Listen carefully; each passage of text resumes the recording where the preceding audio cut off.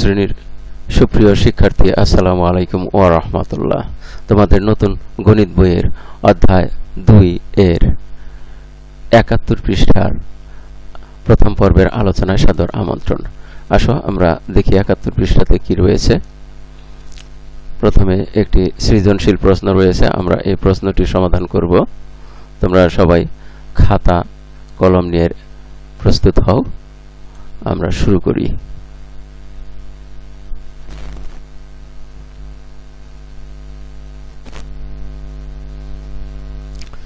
প্রশ্নটি পড়ে নেই। একটি ঝুড়িতে চারশো পঁচিশটি আম এবং অপর একটি ঝুড়িতে তিনশো পঁয়তাল্লিশটি আম আছে। মোট আম থেকে একশো পঁচাত্তরটি আম বিক্রি করা হলো। কতটি আম রইল? এখানে প্রথম প্রশ্ন, ক, দুইটি ঝুড়িতে মোট কতটি আম আছে? আসো আমরা প্রথমে ক নাম্বারের সমাধান করি।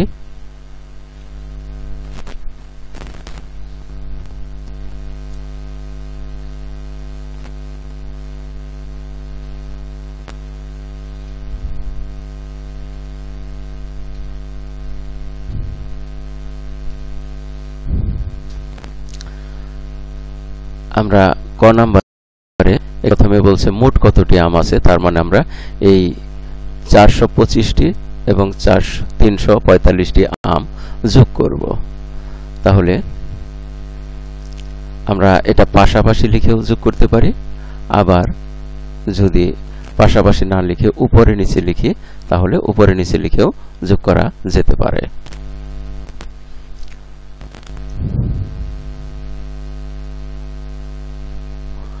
তাহলে আমরা এটি পাশাপাশি না লিখে উপরে নিচে যোগ করি। তাহলে উপরে লিখলাম চারশো পঁচিশ, তার সাথে যোগ চিহ্ন দিয়ে নিচে লিখব তিনশো পঁয়তাল্লিশ।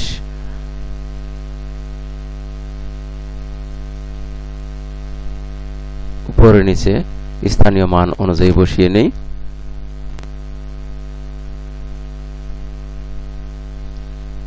এবারে নিচে দাগ দিয়ে যোগ করি। লক্ষ্য করো, একক স্থানে আছে পাঁচ এবং পাঁচ। পাঁচ আর পাঁচ যোগ করলে হয় দশ, অর্থাৎ দশ একক। এখন আমরা জানি যে দশ এককে হলো এক দশক।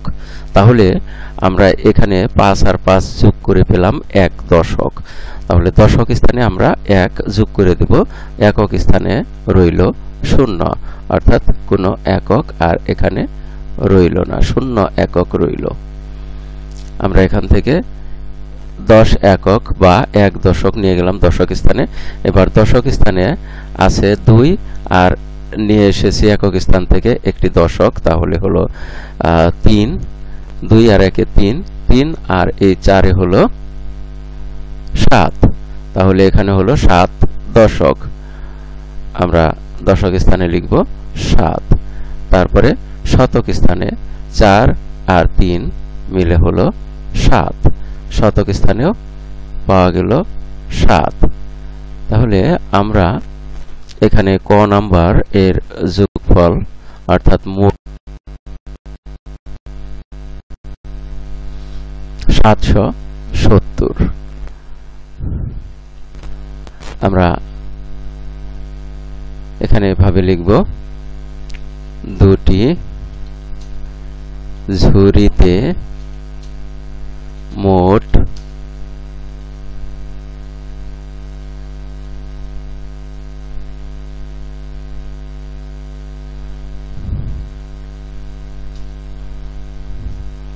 সাতশো সত্তরটি আম আছে।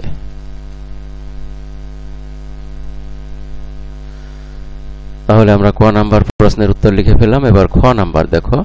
সমস্যাটি কয়টি ধাপে সমাধান করা যায়? এখানে লক্ষ্য করো, প্রথম ধাপে যোগ করতে হয়েছে। যোগ করে আমরা মোট বের করেছি এবং তার থেকে বিক্রি করা হয়েছে একশো পঁচাত্তরটি, তাহলে যে সাতশো সত্তর আছে, তার থেকে আমরা একশো পঁচাত্তরটি বিয়োগ করব। বিয়োগ করলে যে বিয়োগ ফল পাওয়া যায়, তাই হবে অবশিষ্ট আম, অর্থাৎ যতগুলো আম রইল।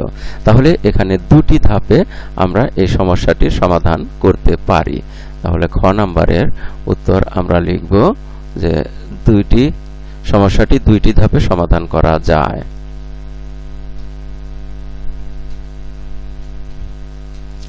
সমস্যাটি দুইটি ধাপে সমাধান করা যায়।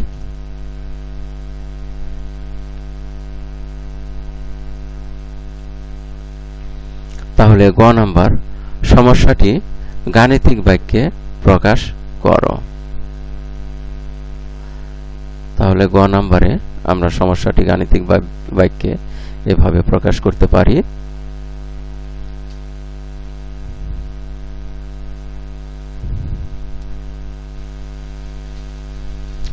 গাণিতিক বাক্য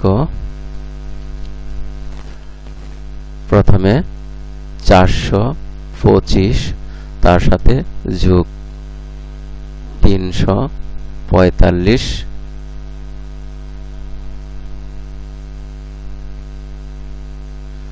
এবং তার থেকে বিয়োগ করব।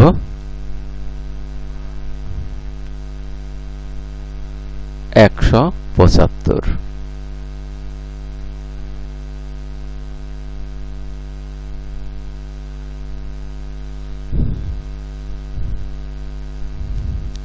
তাহলে হয়ে গেল।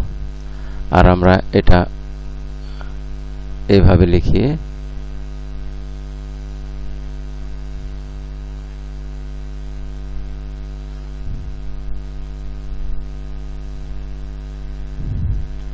প্রশ্নটা আমরা এভাবে লিখি। গাণিতিক।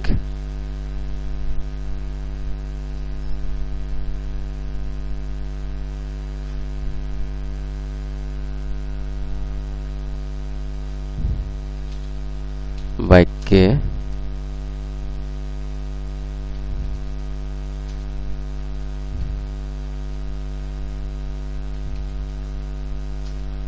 সমস্যাটি নিম্নরূপ।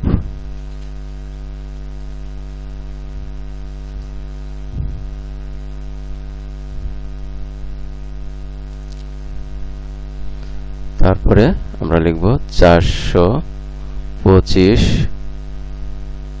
যোগ তিনশো পঁয়তাল্লিশ বিয়োগ একশো পঁচাত্তর সমান এখানে প্রশ্নবোধক চিহ্ন। তাহলে অর্থাৎ কত হবে? এটাই হবে সমস্যার সমাধান। এখন গাণিতিক বাক্যে প্রকাশ করার পরে এখন দেখো ঘ নাম্বারে রয়েছে সমস্যাটি, সমাধান করো। তাহলে ঘতে আমরা সমস্যাটির সমাধান করব।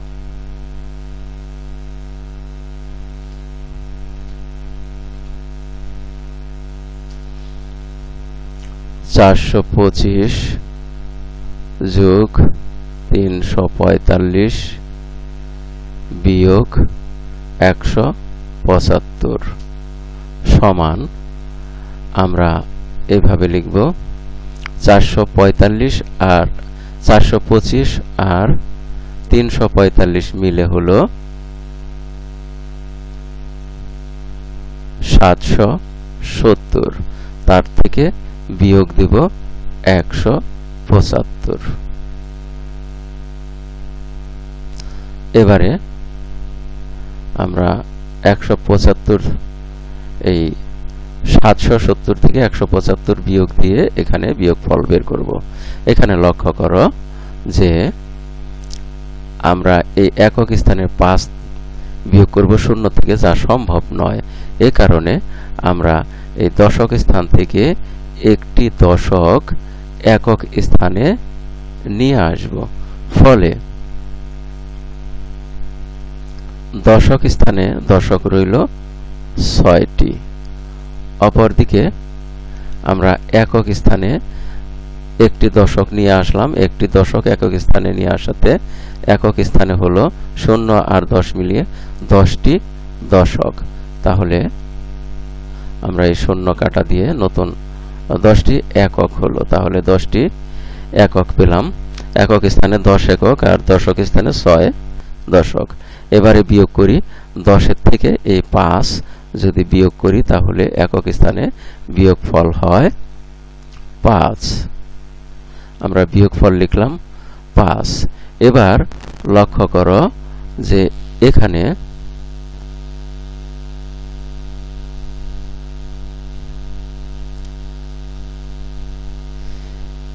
এখানে শত, দশক স্থানে আছে সাত আর এখানে আছে ছয়। অর্থাৎ ছয় থেকে সাত বিয়োগ করা যাবে না।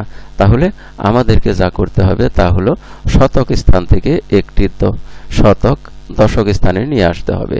তাহলে শতক স্থান থেকে যদি একটি শতক আমরা দশক স্থানে নিয়ে যাই, তাহলে শতক স্থানে রইল, সাতের পরিবর্তে রইল ছয়। শতক স্থানে রইল ছয়। অপরদিকে আমরা শতক স্থান থেকে একটি শতক দশক স্থানে আনলাম। একটি শতক মানে দশটি দশক। তাহলে দশটি দশক আসলো দশক স্থানে। দশক স্থানে আছে ছয়টি দশক। আরও শতক স্থান থেকে দশটি দশক আনলাম। তাহলে দশ আর ছয়ে হলো ষোলো। তাহলে আমরা এই ছয় কেটে এখানে লিখব ষোলো, অর্থাৎ ষোলোটি দশক। এখন এই ষোলো দশক থেকে আমরা বিয়োগ করব এই সাত দশক। তাহলে ষোলো দশক থেকে সাত দশক বিয়োগ করলে বিয়োগ ফল হয় নয় দশক। আমরা এখানে পেলাম নয় দশক, এবারে শতক স্থানে বিয়োগ করব। শতক স্থানে আছে ছয়, তার থেকে বিয়োগ করব এক। ছয় থেকে এক বিয়োগ করলে বিয়োগ ফল হয় পাঁচ। আমরা তাহলে এখানে বিয়োগ ফল পেলাম পাঁচশত পঁচানব্বই। তাহলে আমরা সমস্যাটি সমাধান পেলাম পাঁচশো পঁচানব্বই। এখন উত্তর লিখব কতটি আম রইল? আমরা লিখব পাঁচশো পঁচানব্বইটি আম রইল। পাঁচশো পঁচানব্বইটি আম রইল।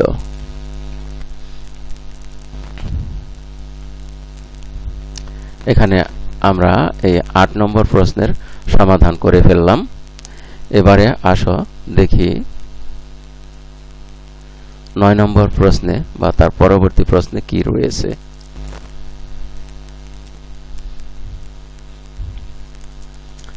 এখানে নয় নম্বর প্রশ্ন লক্ষ্য করো।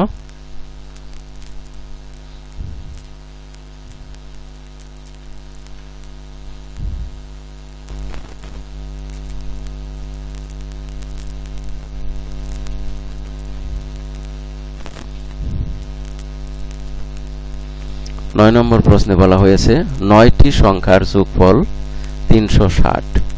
প্রথম থেকে চতুর্থ সংখ্যা পর্যন্ত চারটি সংখ্যার যোগফল একশো বাহান্ন। তাহলে আবার লক্ষ্য করো, নয়টি সংখ্যার যোগফল হলো তিনশো ষাট। প্রথম থেকে চতুর্থ সংখ্যা পর্যন্ত, অর্থাৎ চারটি সংখ্যার যোগফল একশো বাহান্ন। ষষ্ঠ থেকে নবম সংখ্যা পর্যন্ত, চারটি সংখ্যার যোগফল একশো চৌষট্টি। পঞ্চম সংখ্যাটি কত? এখানে ছবিতে দেখানো হয়েছে, প্রথম থেকে নবম পর্যন্ত যোগফল হলো তিনশো ষাট। আর প্রথম থেকে চতুর্থ পর্যন্ত যোগফল হলো একশো বাহান্ন। এবং ষষ্ঠ থেকে নবম পর্যন্ত যোগফল হলো একশো চৌষট্টি। এখানে বলা হয়েছে যে পঞ্চম সংখ্যাটি কত? এটা বের করতে হবে। তাহলে আমরা এখানে দেখি যে প্রথম থেকে চতুর্থ এবং ষষ্ঠ থেকে সপ্তম পর্যন্ত যে সংখ্যাগুলোর যোগফল আছে, এই সংখ্যার এই যোগফলগুলো যদি আমরা যোগ করি, যোগ করে নিয়ে এই মোট সংখ্যার সাথে যদি বিয়োগ দেই, তাহলে পঞ্চম সংখ্যাটি পাওয়া যাবে। অর্থাৎ এখানেও মোট দুইটি ধাপে সমস্যাটির সমাধান করতে হবে। তাহলে আসো, আমরা শুরু করি। প্রথমে আমাদের যা করতে হবে তা হলো একশো বাহান্ন। এটার সাথে আমরা যোগ করব হলো একশো চৌষট্টি। প্রথমে একশো বাহান্ন থেকে আমরা একশো চৌষট্টি যোগ করব। তাহলে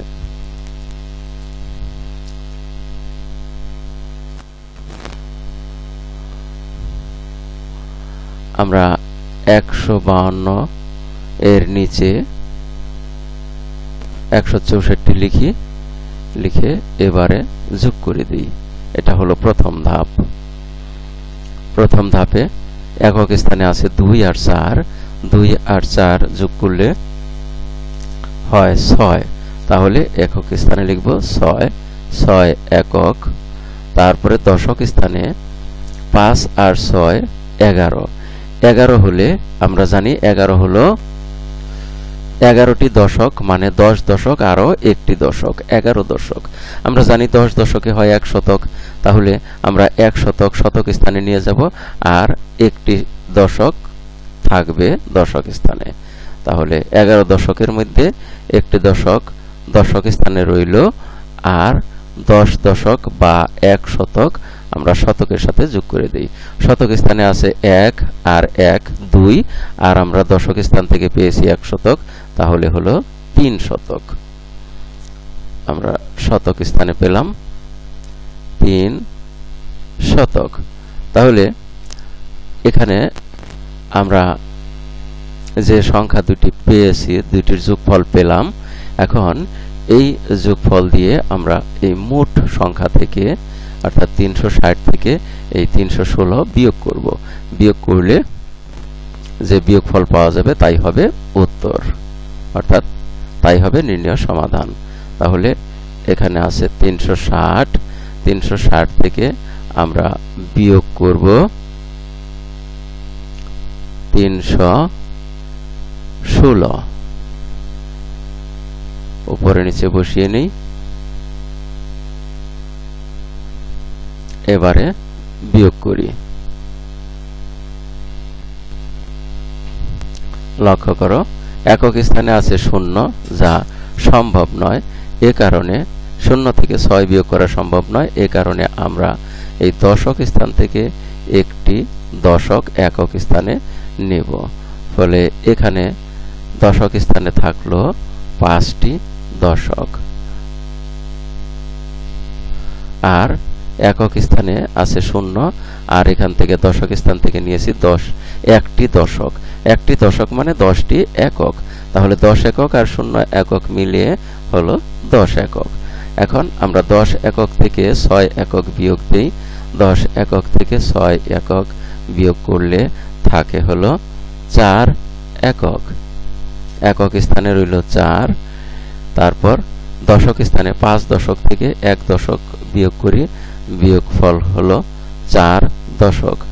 আমরা দশক স্থানেও পেলাম চার আর শতক স্থানে এখানে দেখো তিন শতক থেকে তিন শতক বিয়োগ করতে হবে, তাহলে বিয়োগফল হলো শূন্য। অর্থাৎ শূন্য শতক। শূন্য শতক লেখার প্রয়োজন নেই, যেহেতু শতকের পরে আর কোনো সংখ্যা নেই। তাহলে আমরা এখানে বিয়োগফল পেলাম চুয়াল্লিশ। আর এখানে সমাধান করতে বলা হয়েছে, পঞ্চম সংখ্যাটি কত? আমরা বের করে ফেলেছি, অতএব পঞ্চম সংখ্যাটি হলো চুয়াল্লিশ। পঞ্চম সংখ্যাটি চুয়াল্লিশ।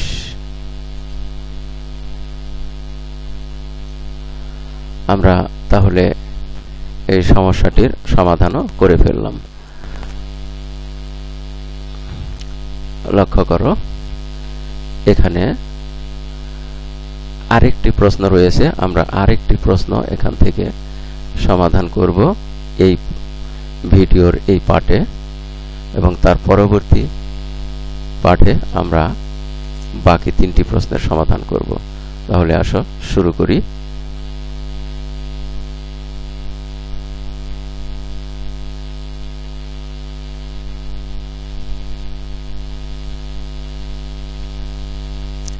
এখানে লক্ষ্য করো, দশ নম্বর প্রশ্নে বলা হয়েছে, নাহিদের চারশো পঞ্চাশ টাকা আছে। নাহিদ অপেক্ষা সুমনের একশো পনেরো টাকা কম আছে। তাদের টাকা একত্র করলে আরিফের টাকার সমান হয়। আরিফের টাকা কত? তাহলে নাহিদের যে টাকা আছে, তার চেয়ে সুমনের একশো পনেরো টাকা কম আছে। আমরা আগে সমানের টাকা বের করব এই চারশো পঞ্চাশ থেকে একশো পনেরো টাকা বিয়োগ করে। তারপর দুজনের টাকা একত্র করলে হবে আরিফের টাকার সমান, অর্থাৎ যোগ করলে হবে আরিফের টাকার সমান। তাহলে আমরা প্রথমে বিয়োগ করব চারশো পঞ্চাশ, তার থেকে বিয়োগ চিহ্ন দিয়ে লিখি একশো পনেরো।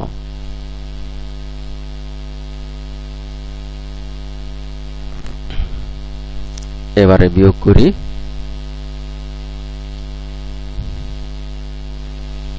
এখানে দেখো, শূন্য থেকে পাঁচ বিয়োগ সম্ভব নয়। ফলে আমাদেরকে বিয়োগ করতে হবে। এই দশক স্থান থেকে একটি দশক নিয়ে আসতে হবে। দশক স্থান থেকে যদি একটি দশক আমি একক স্থানে নেই, তাহলে দশক স্থানে থাকল চার। চার দশক। এবারে চার দশক থাকল আর একটি দশক আমরা একক স্থানে নিলাম। একটি দশক মানে দশটি একক। তাহলে একক স্থানে হবে দশ একক আর এই শূন্য একক মিলিয়ে দশ একক। তাহলে একক স্থানে আমরা লিখব শূন্য কাটা দিয়ে দশ একক। এবারে বিয়োগ করি দশ একক থেকে পাঁচ একক বিয়োগ করলে বিয়োগ ফল হয় পাঁচ একক। অর্থাৎ দশ থেকে পাঁচ বিয়োগ করলাম রইল পাঁচ। এবারে দশক স্থানে চার দশক থেকে এক দশক বিয়োগ করি, বিয়োগ ফল হলো তিন দশক। দশক স্থানে পেলাম তিন। এবারে শতক, চার শতক থেকে তিন, এক শতক বিয়োগ করি, এক শতক বিয়োগ করলে বিয়োগ ফল হয় তিন শতক। তাহলে আমরা এখানে পেলাম তিন শতক, আর বিয়োগফল পেলাম তিনশো পঁয়ত্রিশ। তার মানে আমরা সুমনের টাকার পরিমাণ পেয়ে গেলাম। তাহলে সুমনের টাকা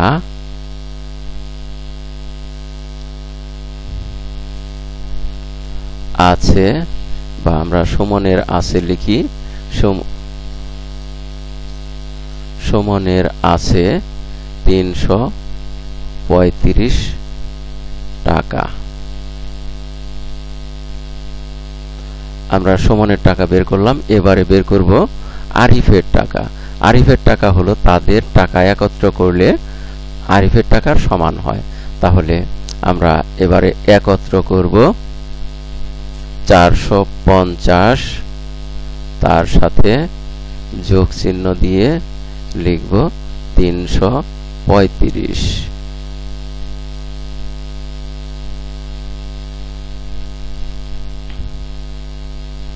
এবারে যোগ করি।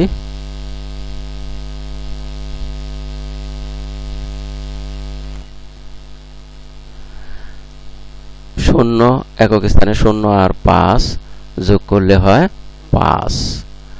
তারপরে আসি, দশক স্থানে দশক স্থানে আছে পাঁচ আর তিন। পাঁচ আর তিন যোগ করলে হয় আট। তারপরে শতক স্থানে চার আর তিন। যোগ করলে হয় সাত। তাহলে আমরা এখানে যোগফল পেলাম সাতশো পঁচাশি। তাহলে আমরা পেয়ে গেলাম আরিফের কত টাকা আছে?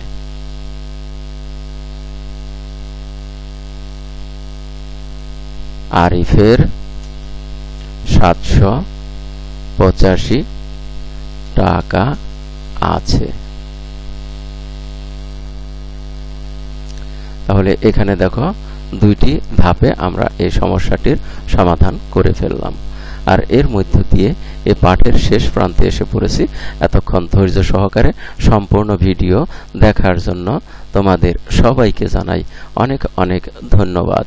সেই সাথে পরবর্তী ভিডিও দেখার আমন্ত্রণ রইল। Thank you very much for watching and keep watching for the next video আসসালামু আলাইকুম ওয়া রাহমাতুল্লাহ।